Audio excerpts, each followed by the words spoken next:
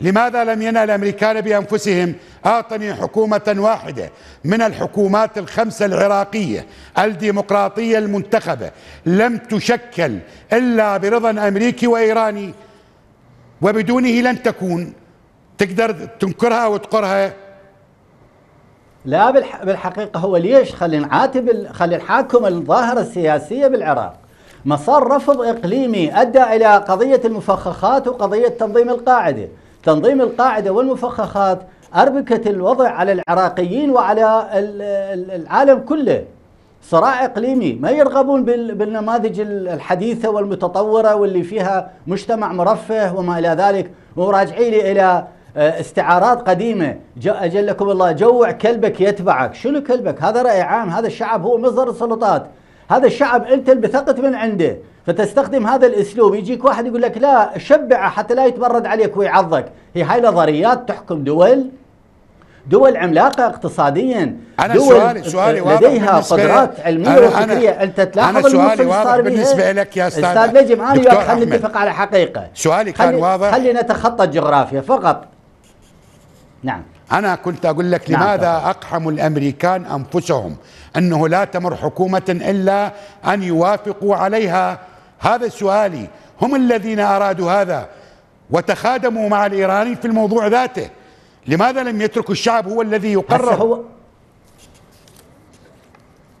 هذه هذه مشكلة المحاصصة ليست مشكلة عابرة هي صار صراع إحنا عندنا بالداخل غاب المشروع الوطني نعم. أيضا بإرادة وطنية ما هو نظام ديمقراطي؟ الشعب مصدر السلطات واحدة من القوائم. رشحنا رشحنا عالم فيزياء. جاب 65 صوت والمطيرشي جاب 10000 صوت. إي هذا هذه قضية وعي. هذه تجي هم الولايات المتحدة تصنع عنا وعي تجي تسوي لنا صعق بالوعي وتقول لهم ضعوا إرادتكم السياسية بأيدي الواعين بأيدي النخب بأيدي الصفوة وإلا هو يكون انقلاب إذا تفرض النموذج السياسي. أحنا عندنا علة بازمه له أزمة وعي. متى؟ هاي نظرية هي نظرية التفويض السياسي التي على أساسها ترتكز النظم الديمقراطية.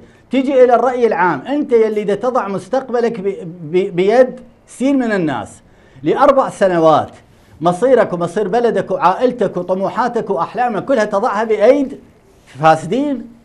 طيب ليش ترد تعيد إنتاجهم وتفرضهم كواقع حال؟ ماشي ما هم الفاسدين الآن لديهم جيوش تقاتل من أجلهم، أنت تلاحظ إيش قد نعاني بالطرقات ونعاني على وسائل التواصل الاجتماعي؟ نعم. تجي تجيب طاري ايراني يقوم يتبرغث بالقاع، تسأله تقول له منين أنت تأكل وتشرب؟ يقول لك من العراق، آخر إلى تركيا، آخر إلى دول الخليج، طيب هذه الولاءات المشتتة إيش بيكم؟ طيب. مو هذا بلدكم، على أقل تقدير. ابنوا ووازنوا اوجدوا توازن مع دول الجوار على أساس الثابت نعم. الوطني نعم. نعم. حتى آه، إذا ما انطونا فرصة لا فقط نلوم الامريكان خلينا نجلد الذات حتى نوصل إلى حقيقة اللي دا يصير عندنا. شوفهم الآن متمترسين للدفاع عن الفاسدين مو يعطيني يعطيني راتب رعاية اجتماعية. أصلا هذه النظرية يسموها نظرية العبودية الاقتصادية. عبودية اقتصادية. يعني طيب. تضع نفسك في دائرة الرق طيب. يعطيك 150 ألف أو 200 ألف بس هو يستعبدك لأربع سنوات طيب أنا أشكرك دكتور أحمد نعم. أنت